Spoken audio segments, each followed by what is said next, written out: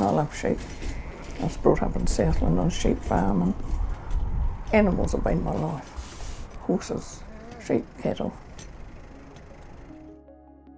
I like pushing buttons, being able to visualise things, the mapping and that is very useful and easier to record. Looked at my farm. I ordered fertiliser through it with the help of one of the kind people at the Ravensdown office. Fertiliser turned up and was spread by Spreading Canterbury. When you've got arthritic hands, your writing's not so legible.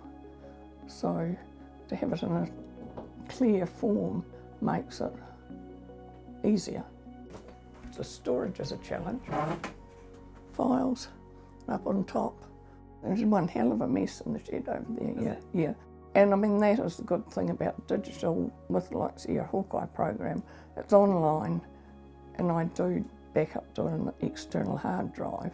I think it's the accessibility to the digital stuff that is the big plus.